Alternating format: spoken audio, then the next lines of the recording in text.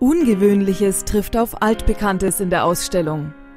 Chronologisch geht's durch die gesamte Schau, vom heiligen Martin mit der Martinslaterne über die Barbara-Zweige und der heiligen Barbara in ihrem Turm mit den drei Fenstern bis hin zu Maria Lichtmess mit den Wachsstöcken und der traditionellen Kerzenweihe. So wird längst vergessenes Wissen um den Ursprung der Bräuche wieder in Erinnerung gebracht.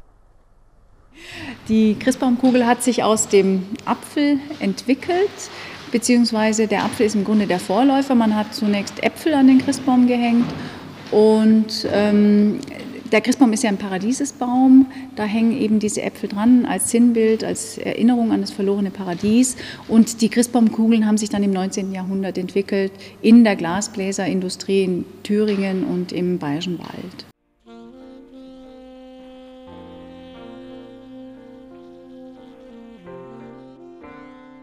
Ganz profane Gegenstände des Brauchtums finden sich neben Kunstschätzen des Diözesanmuseums.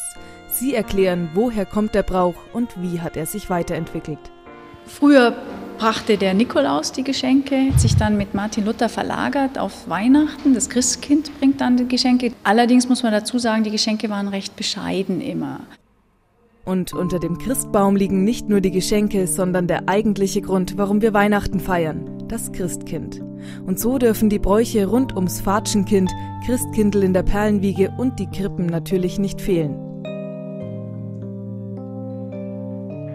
Ja, die Tradition der Krippe ist relativ spät aufgekommen, erst im 16. Jahrhundert, äh, wurde dann mit den Jesuiten verbreitet. Das ist natürlich eine sehr gute Art, Menschen von der Weihnachtsgeschichte zu erzählen, weil sie auch einen Nachvollzug beinhaltet.